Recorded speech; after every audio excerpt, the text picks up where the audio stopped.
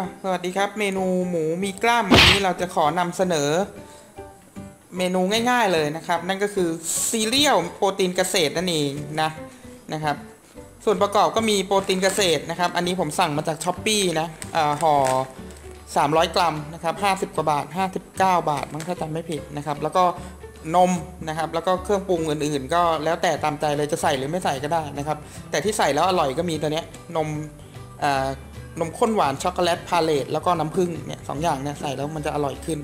นะครับ รสชาติรสชาติของโปรตีนเกษตรดิบๆเนี่ยนะ มันจะกรอบแล้วก็มีกลิ่นถั่วอยู่หน่อยหนึ่งเพราะฉะนั้นเวลาใส่กับนมลงไปปุ๊บเนี่ย มันค่อนข้างเข้ากันนะครับ แล้วเราก็เติมรสหวานหน่อย เราก็รู้อยู่แล้วว่าโปรตีนเกษตรมันเป็นแหล่งโปรตีนชั้นยอดเลยใช่ไหมนะครับ ก็ไม่นึกว่ามัน จะมากินแทนที่กันได้เนี่ยใส่ น้ำผึ้งลงไปสักสองสามช้อนนี่เลยถ้าคุณอยากจะลีนก็ไม่ต้องใส่ก็ได้นะครับ ใส่แค่โปรตีนเกษตรกับนมก็กินได้จริงมันกินได้จริงนะมันอร่อยด้วยนะครับสำหรับสายถั่วต่างๆ เนี่ย อร่อยเลยนะครับ แทนกินแทนซีเรียลได้เลยเอาพูดง่ายๆถ้าใส่อันนี้เราก็ไม่ต้องใส่ช็อกโกแลตอะแค่นี้แหละม่มีอะไรหรอกมาแนะนำให้เผื่อใครอยากจะเปลี่ยนรสชาติจากอกไก่จาก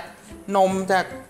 เวย์เดิมๆมามาเพิ่มโปรตีนด้วยวิธีอื่นที่มันถูกอย่างเงี้ยก็อันนี้ก็ได้นะ ลองดูอะโอเคสำหรับวันนี้ก็จบแค่นี้ครับไปแล้ว